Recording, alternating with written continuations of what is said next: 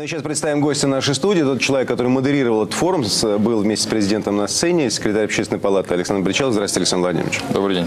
Ну, судя по тому, как реагирует даже вице-премьер на замечание фронтовиков, и уже альтернативное правительство, или как? Ну, я бы не хотел, так сказать, примерять э, и функции, и статус правительства на Общероссийский народный фронт. Все-таки это, наверное, э, такой важный элемент народного контроля. Губернаторы – это э, люди, которым доверил президент. А президент – лидер Общероссийского народного фронта.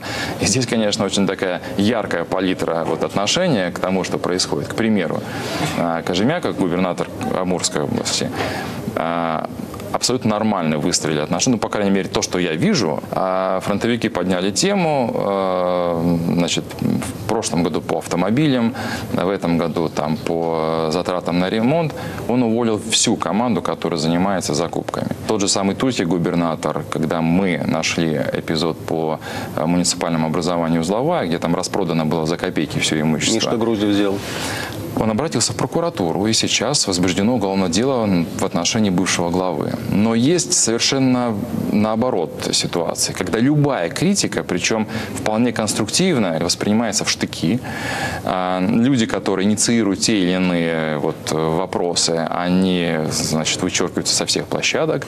И, а в отдельных особых случаях происходит давление. Нет.